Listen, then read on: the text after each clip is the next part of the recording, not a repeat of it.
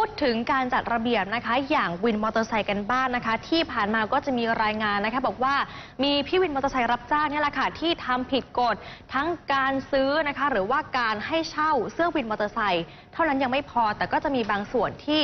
มีการเอารถจักรยานยนต์เนี่ยนะคะมาใช้แต่ว่าเป็นรถที่ไม่ได้จดทะเบียนมาก่อน คราวนี้ร้อนไปถึงกรมการขนส่งทางบกนะคะบอกว่าต้องไปเร่งตรวจสอบ อย่างล่าสุดนี่ลงไปพื้นที่เขตบางซื่อนะคะ ก็เห็นมีวินจักรยานยนต์ที่จดทะเบียนถูกต้องน้อยมาก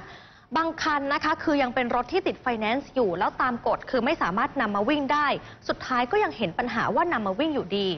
รองอธิบดีกรมการขนส่งทางบกคุณนันทพงษ์เชิดชูนะคะบอกว่าหลังจากลงพื้นที่ไปตรวจสอบ 3 พื้นที่หลักๆด้วยกัน ทั้งบริเวณสะพาน 99 หน้าซอยสำนักงานเขตบางซื่อทั้งหน้าสถานีรถไฟใต้ดินบางซื่อและบริเวณสถานีรถไฟฟ้าหมอชิดฝั่งเดียวกันกับสวนจตุจักรเมื่อวานนี้นะคะ เจอวินมอเตอร์ไซค์ที่ทำผิดหลายคัน จุดแรกก่อนคุณผู้ชมพาไปดูบริเวณสะพาน 99 ปรากฏว่ามีจำนวนจักรยานยนต์รับจ้างทั้งหมด 63 คัน แต่จดทะเบียนถูกต้องเพียงแค่ 52 คันเท่านั้น ส่วนใหญ่ที่ไปสอบถามเนี่ยนะคะ คนที่ขับขี่เขาก็บอกว่า มีปัญหาขั้นตอนการจดทะเบียนรถจักรยานยนต์รับจ้าง ปัญหาหลักคืออะไร เขาบอกว่ารถจักรยานยนต์ที่เช่าซื้อยังผ่อนไม่หมด คือยังติดชื่อบริษัทไฟแนนซ์อยู่ แล้วบางบริษัทเนี่ยเขาก็ไม่ยินยอมให้เอารถจักรยานยนต์ไปขับขี่สาธารณะ เพราะกลัวว่าถ้าเกิดผู้เช่าซื้อผ่อนไม่หมดครับรถถูกยึด เวลาไปขายต่อก็จะได้ราคาไม่สูงนะคะเพราะว่ารถก็ใช้งานไปค่อนข้างเยอะถามพี่วินมอเตอร์ไซค์นะคะถามว่าแล้วรู้กฎระเบียบหรือเปล่า บางส่วนก็บอกว่ารู้กฎระเบียบข้อนี้ดี แต่มีความจำเป็นต้องฝ่าฝืน เพราะว่าก็ต้องประกอบอาชีพหารายได้นะคะเพราะว่าเป็นคนหาเช้ากินค่ำกว่าที่จะหาเงินผ่อนรถหมดก็ต้องทำให้ได้ สามารถจดทะเบียนถูกต้องได้อย่างกฎหมายนะคะ ซึ่งถ้าทางเจ้าหน้าที่ตรวจพบเขาบอกว่าก็ยินดีให้ดำเนินการตามกฎหมาย อีกจุดหนึ่งก็คือ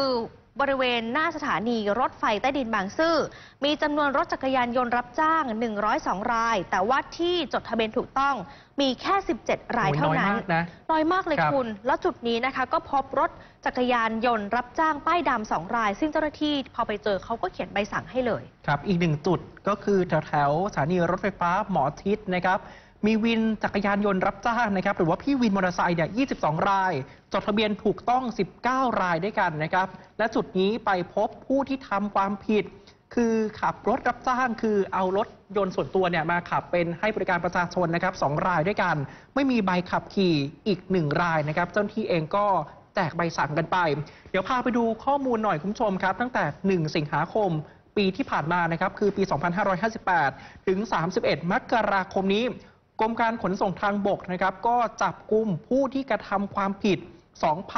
2,113 ราย ถือว่าเยอะเลยทีเดียวนะครับ อันดับหนึ่งเลยคุณธนิการครับค่ะฝ่าฝืนนำรถยนต์ส่วนบุคคลเนี่ยมารับส่งผู้โดยสาร 1,535 ราย แต่งกายไม่ถูกต้องตามข้อกำหนด377 รายครับ คือบางคนนี่อาจจะไม่สวมเสื้อวินนะครับ แต่งตัวปกติ อันนี้ก็ผิดกฎหมายเหมือนกัน ใช้รถที่ไม่ได้จดทะเบียน ไม่ชำระภาษี 122 ราย ไม่แสดงใบอนุญาตขับรถ แล้วก็คู่มือคู่มือ 65 ราย แล้วก็มีความผิดนะครับในข้อหาอื่นๆ อีก 14 รายด้วยกัน อันนี้ก็เป็นเรื่องเร่งด่วนนะครับ ต้องเข้าไปกวดขัน ส่วนอีกหนึ่งปัญหา อันนี้ก็เห็นค่อนข้างเยอะเหมือนกันนะครับ ซื้อขายเสื้อวินค่ะเรื่องนี้ทางกรมขนส่งทางบกนะครับ ก็กำลังสอดส่องดูแลอยู่เหมือนกัน เพราะว่าถือว่ามีความผิดทางอาญานะครับ ส่วนกรณีที่ปัจจุบันคุณผู้ชมครับ โทรศัพท์แล้วก็มีคนมารับ บอกว่าเป็นวินมอเตอร์ไซค์เนี่ยมารับนะครับ อันนี้อาจจะไม่ได้มีการจดทะเบียนอย่างถูกต้องตามกฎหมาย